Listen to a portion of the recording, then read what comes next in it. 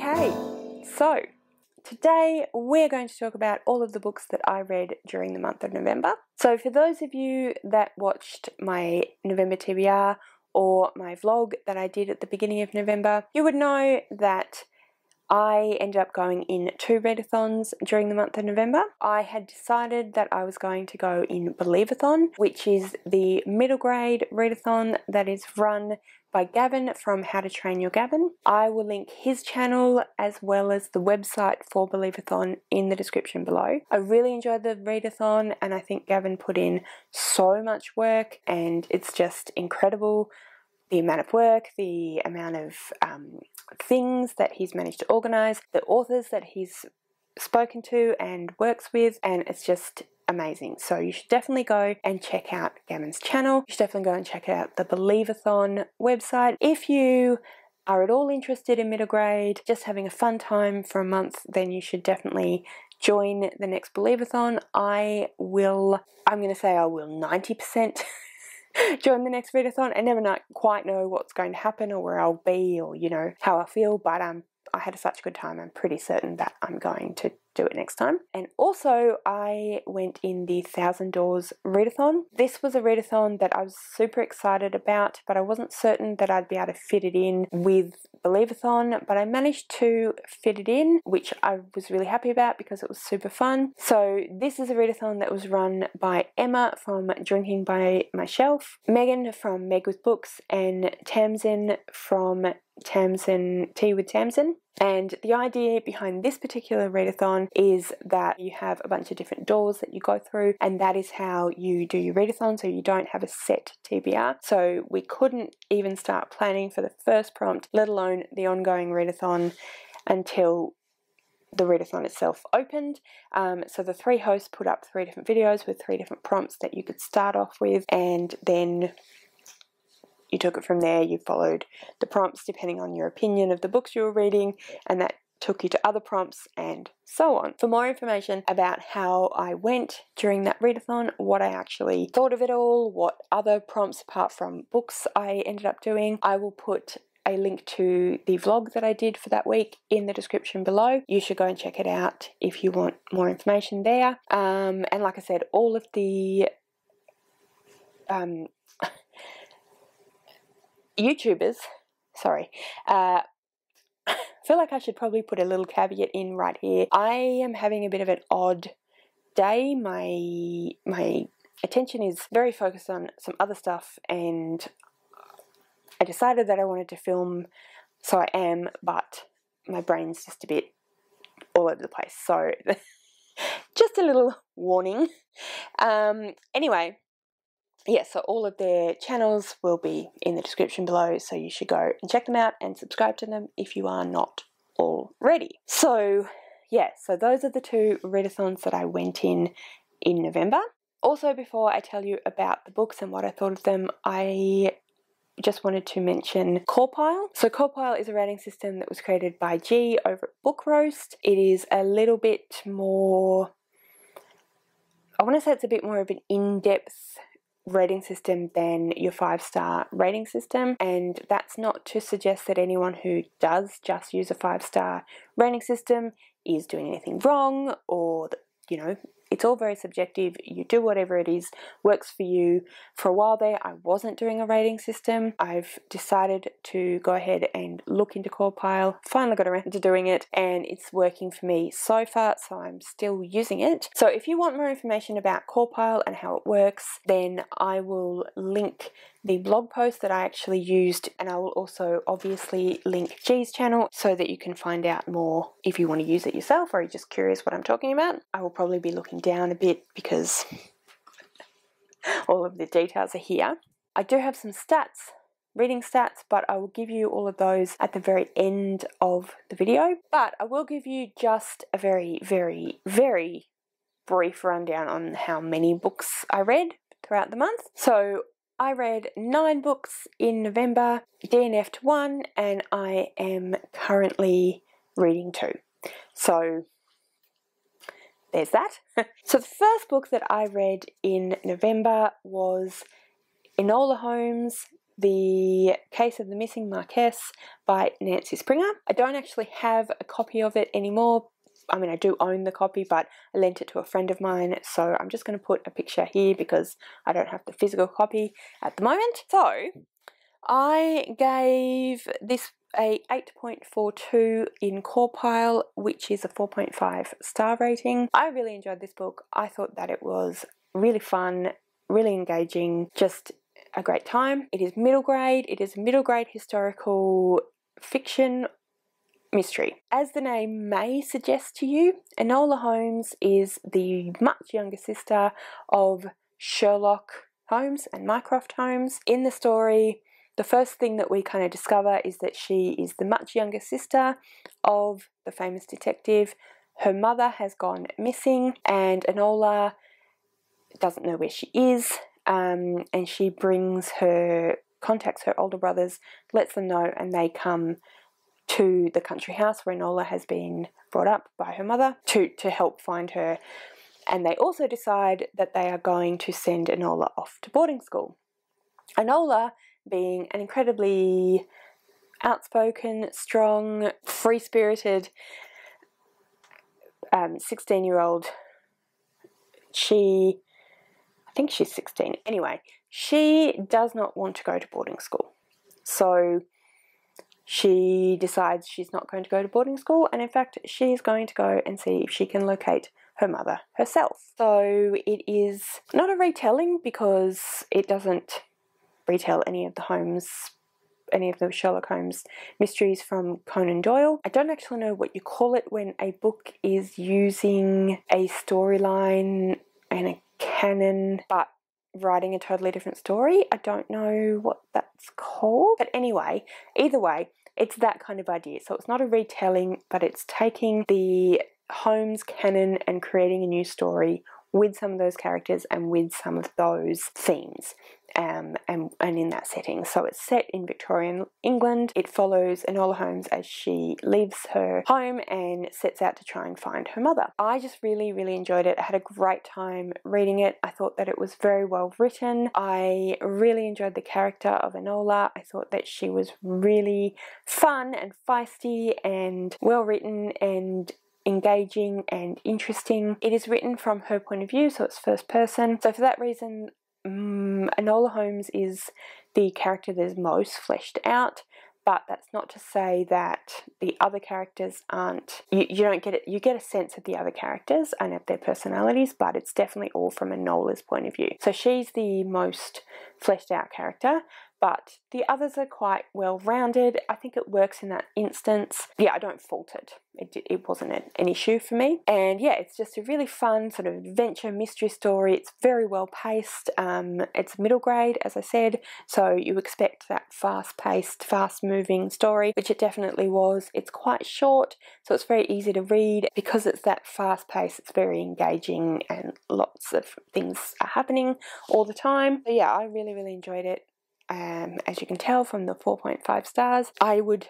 definitely recommend it to anyone that likes middle grade historical fiction mysteries. I think it's aimed at sort of 10 to 13 year olds or some of the younger readers who are reading at the higher levels. I would definitely recommend for that age range. I think that it works really, really well for that age range, and yeah, I just think that it's really great and really well written, and I really enjoyed it. So, that's that one. The next book that I read was actually a comic book, and I don't have it with me because I totally forgot that I had read it um, until I kind of sat down and looked at my my computer, at my Google Doc sheet. Um, so I'll put it here again. So this was actually the Fabulous X-Men series, um, the first one. I enjoyed it. I thought that it was fun. I am not a huge comic book reader, as you probably know, if you've been around for a little while. Um, I was for a little while doing a series about trying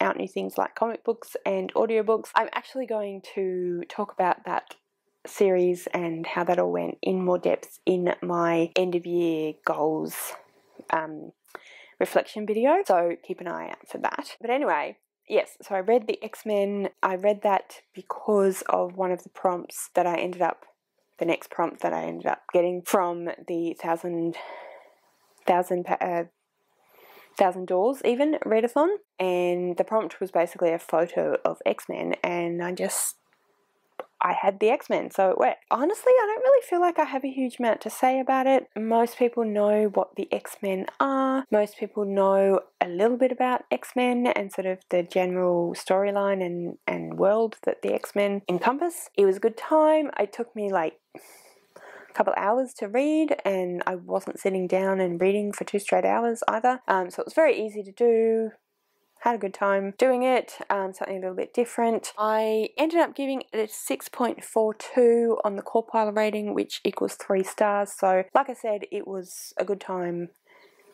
pretty middle of the road. Um, enjoyed it while it lasted, kind of situation. So, that's that one. Finishing that book led me to a prompt to finish a book that I had. At, the prompt was, I'm back. So you could take that however you liked, um, and one of the ways that you could take it was to read a book that you had previously put down. So this is yet another book that I, for some reason, have managed not to actually grab. I do actually have a pile of books here that I will be showing you, but I didn't grab this one either, so I'm going to put a picture on the screen as well. But anyway, um, yes, so during the Because We Can readathon, which was in October, I read most of the book Mullumbimby by Melissa Lucashenko, but I put it down. I'm not even sure why now, to be honest. I feel like this has been a really long couple of months. Anyway, um, so I put it down. I decided to pick it back up again for that prompt because it worked quite well, and I finished it off. So, Mullumbimby is a book that is actually set in the town of Mullumbimby, which is in northern New South Wales. It is about a sort of 30 something year old woman and she is a aboriginal woman whose um, whose people come from that part of Australia and she also owns the land according to property laws. Yeah, so she sort of has double claim over the land. It's sort of a story about native title um, and about land ownership within Australia. It's a contemporary, it's also a bit of a love story. Um, it's also a story just about a woman sort of finding her feet. She's only recently moved to this part of Australia. She was previously a band member. I think she played guitar, and um, so she travelled around uh, with her band and did gigs and whatnot, and that ended.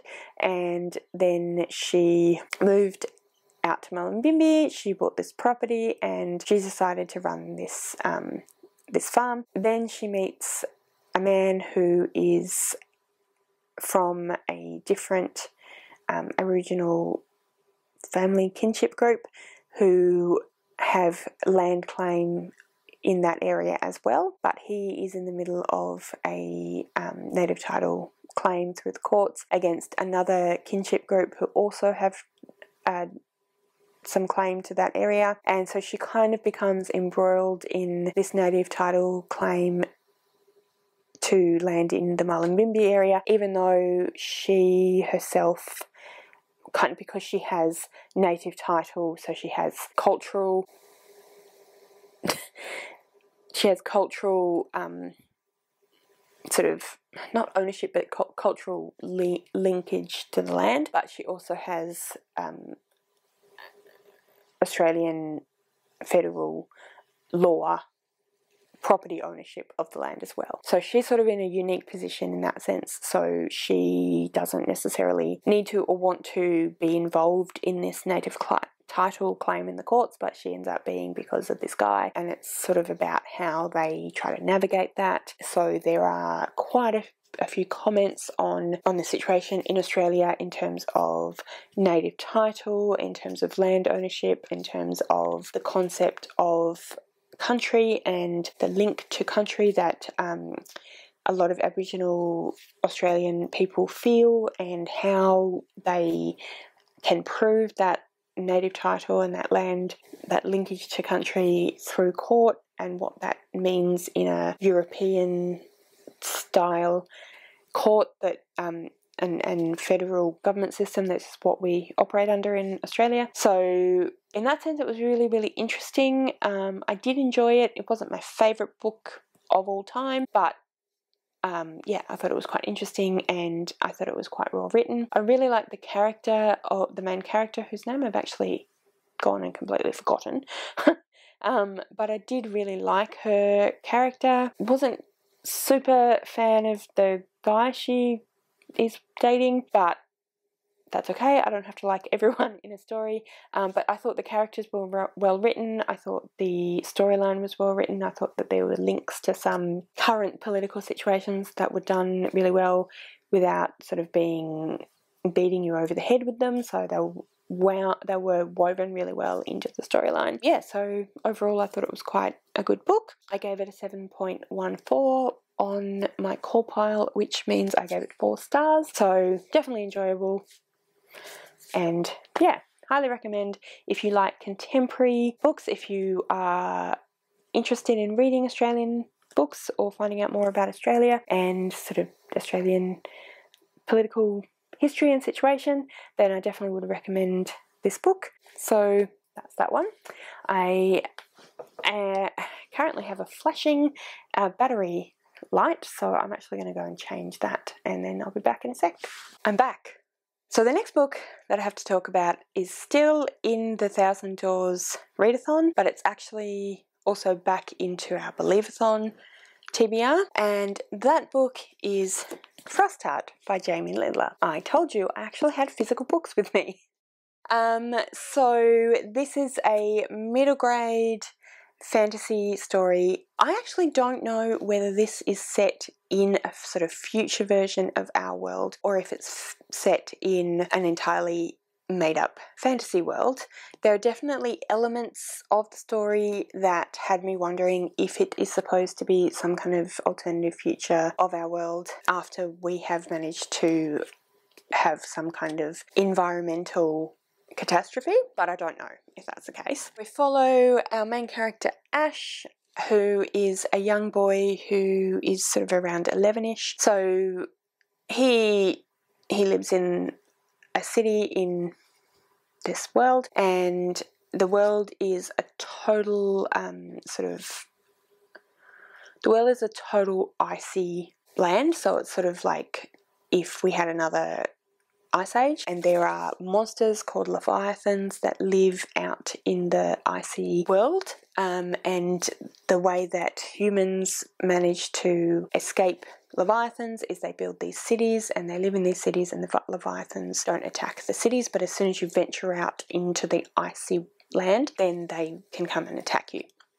Um, so Ash lives in this one city, and there is a bit of a story, a bit of a mythos about song weavers, about people that that sing, um, who can have control over Levi- leviathans, but leviathans can also use them to destroy cities and humans and other creatures. It's revealed quite early on some stuff to do with that and Ash, and as a result, he and his Yeti. Uh, my words are just not working today. Uh, I think it says on the back here, Guardian. Yes, it does. Um, him and his Yeti Guardian end up going on this big sleigh called Frostheart, and the sleigh is kind of like if we kind of like an expedition ship, but it's a big sleigh, so they have um, sails and everything, and they traverse the, the wastelands, the icy wastelands, and do trade and have adventures and all of this sort of thing. So Ash and the Yeti companion, whose name is. I can't remember his name. Tobu is the Yeti's name. They end up joining the crew of Frost, Frostheart, um, and it's about their adventures. Ash has been left in the guardianship of Tobu because his parents have gone missing, so he's kind of half joining them to search for his parents. So, yeah, Um, I had a great time reading this book. I thought that it was so much fun. It's really well written. Again, it's a middle grade, so it's quite fast paced. There's a lot of action, a lot of adventure, a lot happens really quickly. But that's the kind of thing that you expect from this sort of middle grade action adventure fantasy story. I really like Ash's character. I thought that he was really fun, really well written. I thought the world building was excellent. It was really, you could really get a sense of the world and that there was some kind of mystery to unravel. It's given to you in a really nice piecemeal way that works really well with the storyline, even though there's so much happening. I like the other characters. I think the other characters are well fleshed out. There's a huge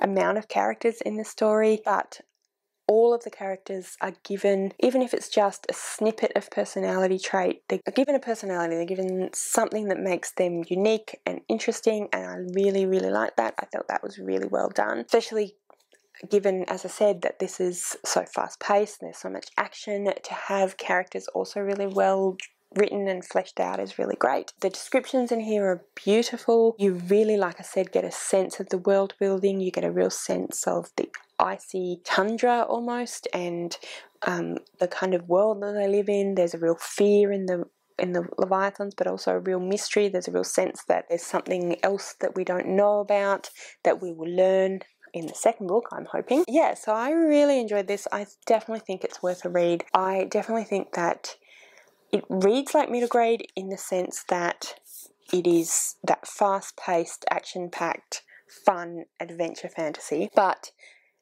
it didn't ever feel like I'm reading a book that is too young for me, that is not written for me, even though that's absolutely 100% the case. As an adult, I still really enjoyed it. I felt like I was just having a really fun time and there was a lot going on. And he didn't, Jamie Littler didn't skimp on any of the fundamentals of storytelling that are important to me, like character development and um, world building. So I definitely recommend this book. On CawPile, I gave this a 9 out of 10, and in stars, I gave it a 5. So love this one. The next book that I read was Mexican Gothic by Silvia Moreno Garcia. I had mixed feelings about this one. I enjoyed it. I thought that it was well written. I thought that it had great atmosphere and it definitely had gothic elements that I really appreciated. But it's not really a but in a bad way. It's just there were some aspects of the story that I wasn't expecting, and so it kind of threw me a little bit. So I ended up giving it a 7.43 on CawPile, which translates to a four star. So it's definitely a book that I enjoyed. So the main thing that kind of threw me a little bit, I think, was actually about my expectations of the book rather than the book itself. I think that what happened was I had a very specific idea of what Gothic literature was, which it turns out I wasn't. My notion of Gothic literature was too narrow. There are a few things that came up in here which were. Now, I've never read any like body horror, so I don't know if what I'm about to say is true. So if you are a person that reads body horror, you might totally disagree with me. But some of the stuff in here to me felt like they were kind of gross. And there was, in fact, one or two occasions where I was really, I was kind of cringing as I was reading it. I am not, yeah, I've discovered mostly through that that I don't really want to read body horror or watch body horror. I'm not a, a big, icky, gross kind of person. I quite like a horror suspense, but just blood and guts and gore is just not really my thing. So there were a few moments in this that were kind of, yeah, just kind of gross, which I wasn't expecting because when I think of gothic literature, I think more along the lines of the suspenseful gothic, like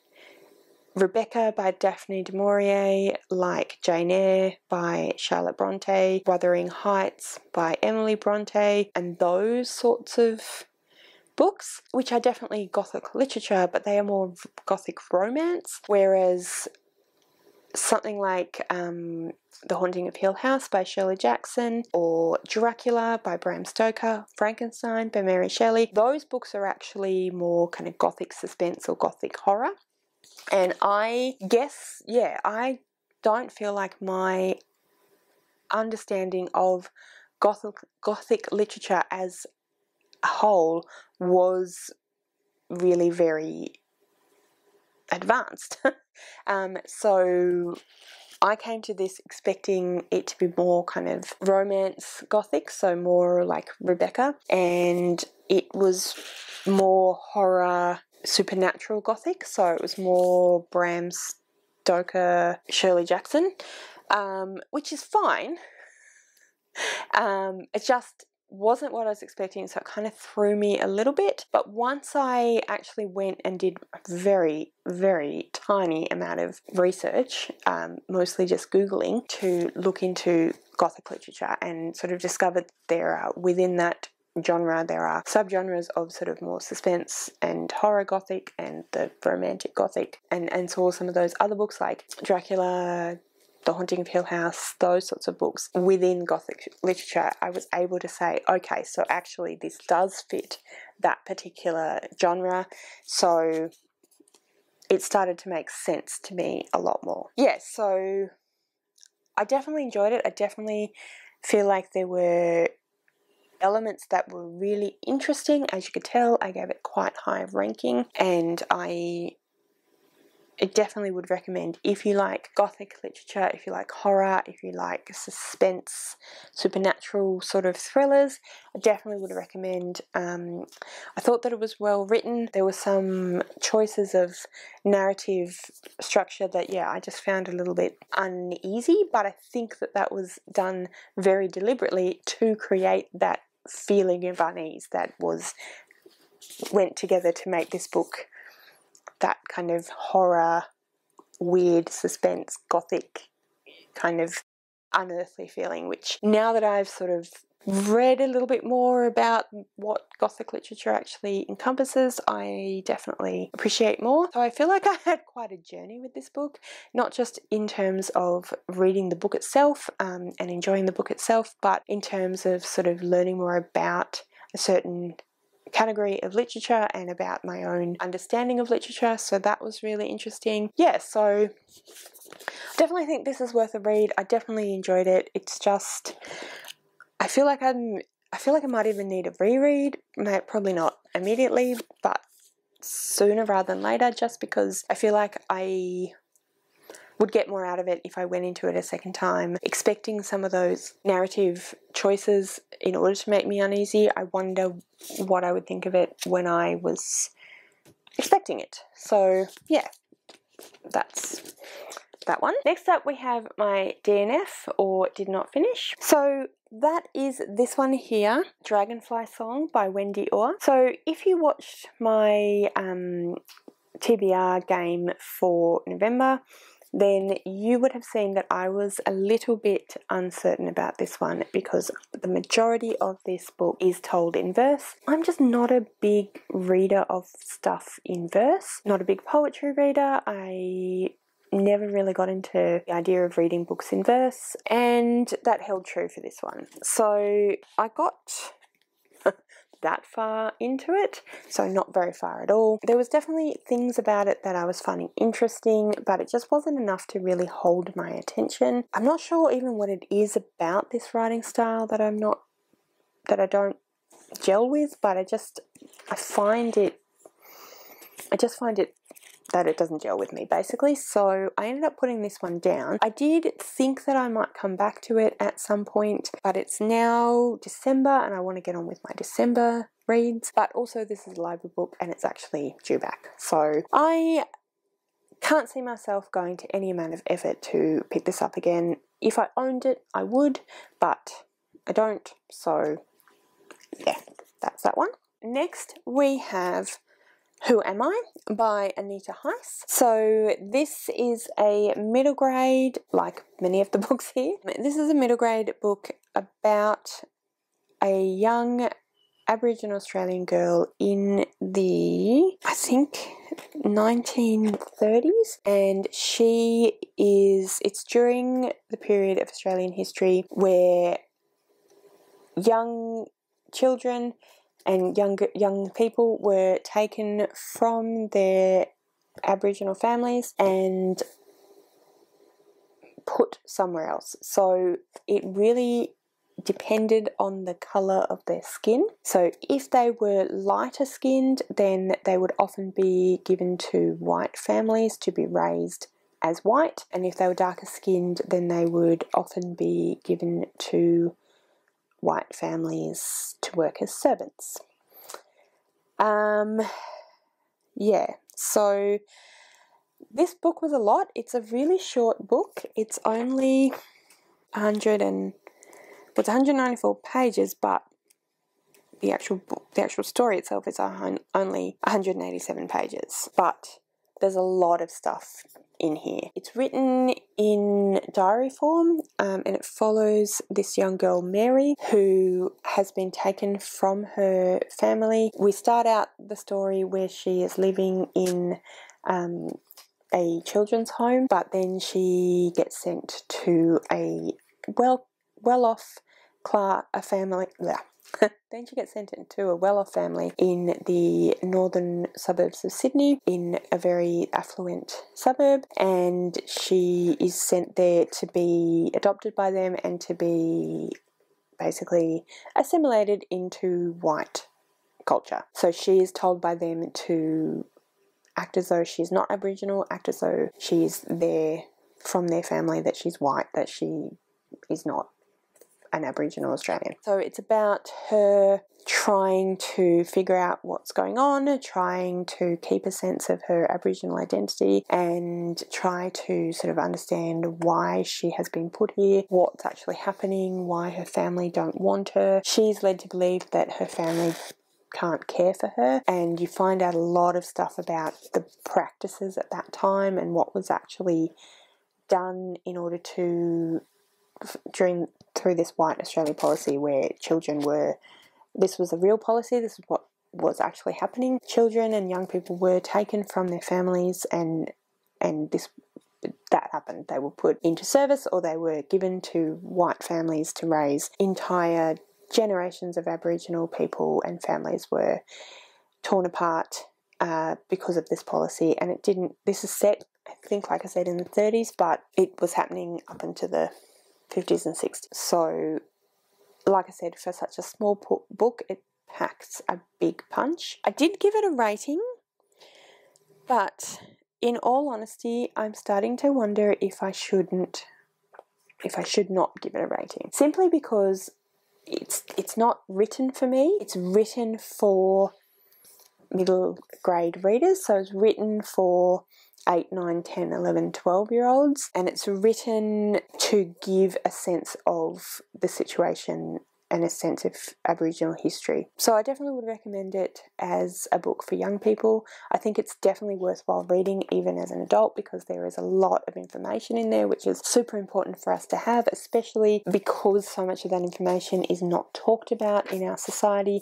We're not educated about this. So I think it's really important as a book for for young people to read so they can learn, but also for us adults to learn. But if middle grade diary format books aren't your thing, then maybe some non-fiction might be more beneficial and more more interesting for you. But um, yeah, I definitely think it was important and worthwhile reading, and I'm glad that I read it. But it was more about the message. So yeah.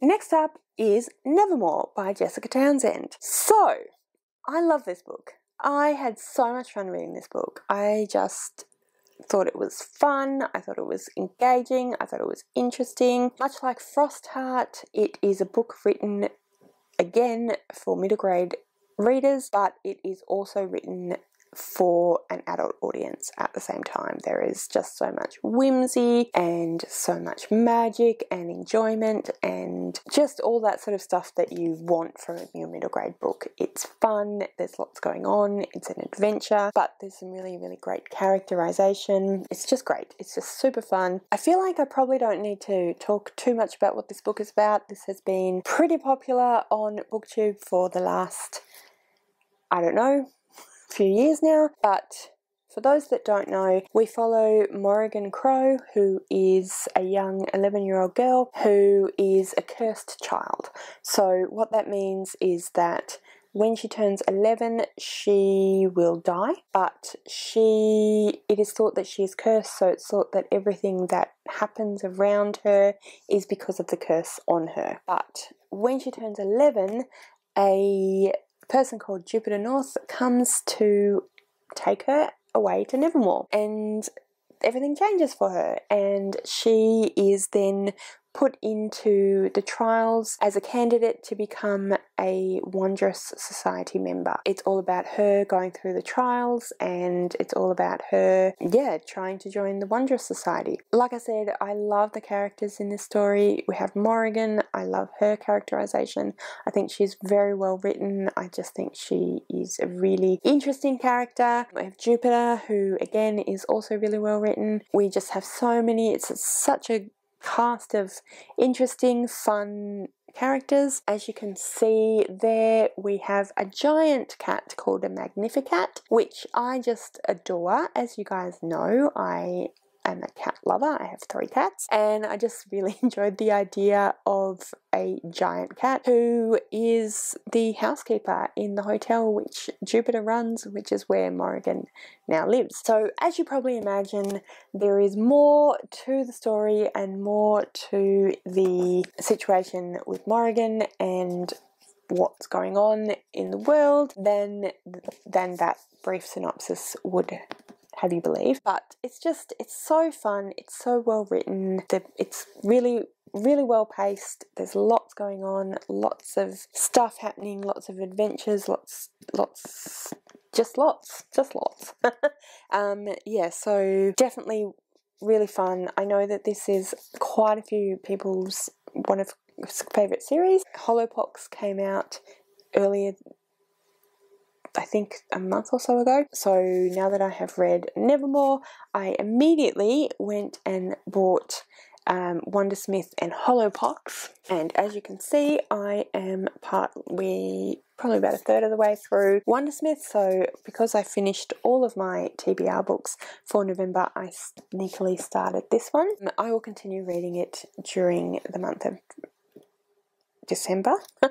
I forgot where we were for a second, um, along with my other books. But yes, so I'm really enjoying this series. I have Hollowpox as well, so when I get a chance, I'll read that one too. I don't really know what else to say about this one. I just, I just think it's great. I just think it's well written. It's fun. It's engaging. It's interesting. It is a story that it says on the front cover here, readers will feel as though Harry Potter is meeting Al- Alice in Wonderland, and I really felt that way. It's got so many elements that we can appreciate from Harry Potter. So it's got the kind of school, it's got the trials like the Goblet of Fire, it's got that friendship motif, but at the same time, there's such a sense of wonder and whimsy. And I really like the way that Jessica Townsend has built the world here. So she has a really deep world and it, it's great world building, but She's one of those authors that can make you feel like you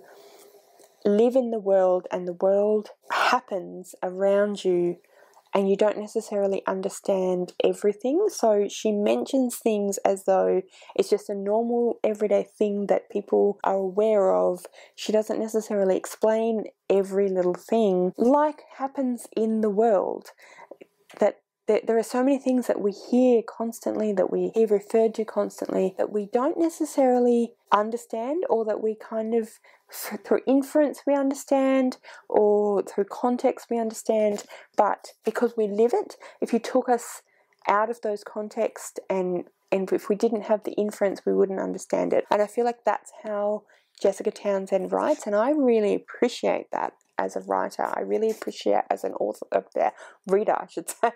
um, I really appreciate the idea that it is not explained to us because it's not that I didn't understand everything in this book. I don't still don't understand everything in this book. I'm assuming that it will be revealed as is needed, but there are so many things that make sense in the context and once you get the context which she does eventually give you, you understand kind of what that is or how it works, but she doesn't explain, yeah, she doesn't over explain, which I really appreciate. I think that's a really interesting I think that's a difficult technique to be able to do, and I think she does it really well. So, super impressed by Jessica Townsend, and I'm super excited to read the rest of the rest of uh, Wundersmith, and then read Hollowpox and anything else that she writes. For the rating for that one, I gave it a 9.14 for CAWPILE, which is a 5 star, which will not surprise you at all given how much I just gushed over it. Next up, we have Music for Tigers by Michelle Kadarusman. I don't actually know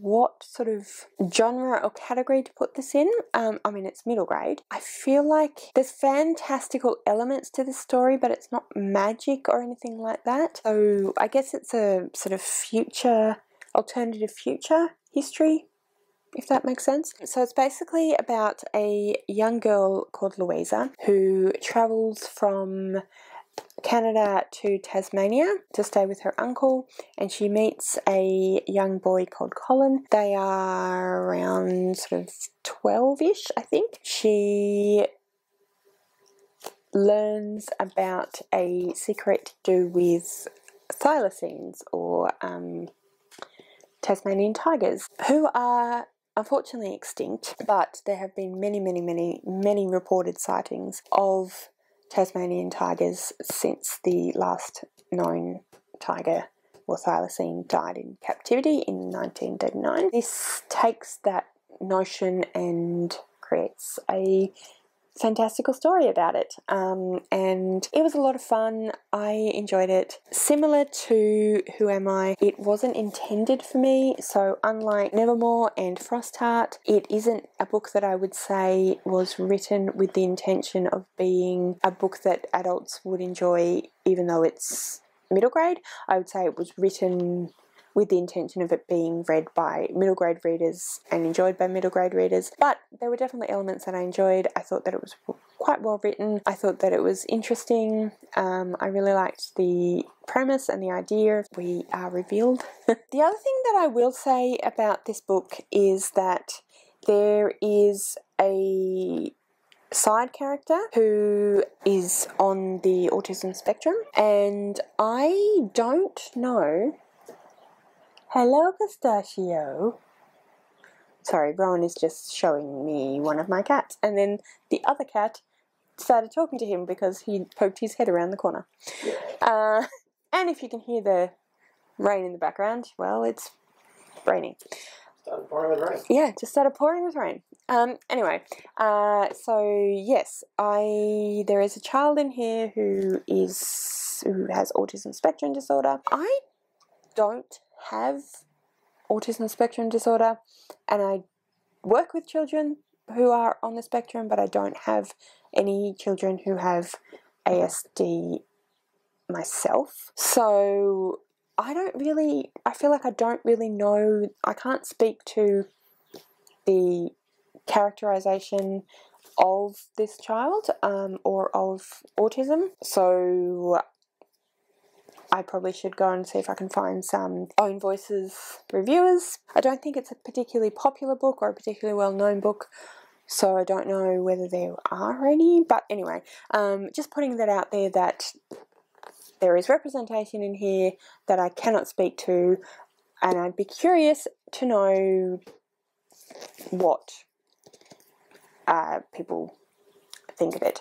I personally thought that it was done reasonably well, but yeah, again, I, I, I am not a Own Voices reviewer, so there's that. The last book that I read this month and actually completed is a book that I read on my e-reader, so I'll pop a picture up here, and that is The Guest List by Lucy Foley. So this is a book that I read with Connor from Connor's Library Corner, and it's a book that Connor and I actually agreed upon, which I think is literally a first for us. So that's actually really exciting and really cool. We are going to read The Hunting Party by Lucy Foley together this month as well, and I'm really keen to see whether we enjoy it both enjoy it as well for that one.